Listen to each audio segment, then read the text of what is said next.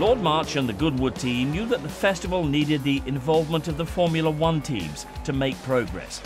Even for fans who had seen and heard Formula One cars many times before, the spectacle of the motorsports elite on the hill was very, very special.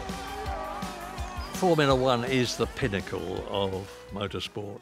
And of course, that is what your dyed in the wool motorsport enthusiast wants to see and to hear. Because to be on the start line, and I have been there many, many times at the Festival of Speed, and you're standing alongside a Formula One car, and the driver gives it maximum welly and assaults your eardrums, and it disappears in a flash up the hill, is an incredible experience. With the festival's reputation growing year on year, the Formula One teams really began to take notice. And by 1997, representation was growing, a sure sign that Goodwood was well and truly on the map. Hear that engine revving away here is, you know, it's the best thing. Of course, at the uh, at the very beginning, Charles was, as always, very uh, persuasive. Um, uh, after the event, I could I, I looked back and I thought, how on earth did he convince us to take so many cars and, and, and take a Formula One car uh, up the hill? Today, Goodwood remains the only place away from the Formula One circuits that you'll see the teams come together.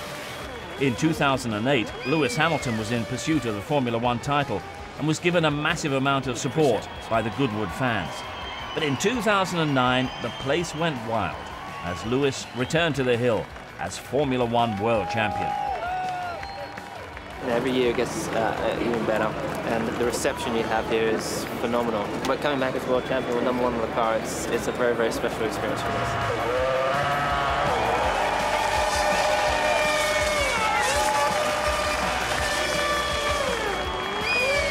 The very next year, it was Jenson Button who returned as champion, a moment that the Englishman really threw himself into.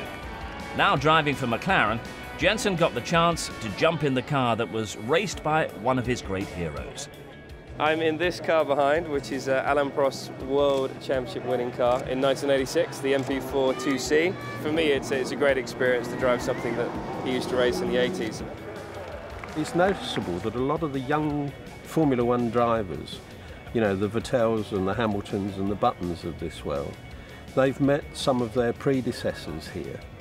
And to hear them talking to one another and exchanging experience and exchanging views and so on is actually um, very educational. And it's educational on both sides, I think. They all want to be there, they all enjoy it, they all enjoy the interaction with the fans, um, you know, the closeness of the spectators, and of course driving some cars that they've, they've never sat in before. I think you know, last uh, year um, Sebastian Vettel attended and he uh, had a great chat with um, John Surtees and even had a sit on his motorbike.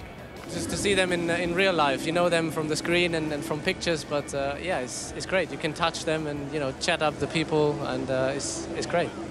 Sebastian came over and wanted to know all about the bike and was very enthusiastic, and th this is the nice thing about it.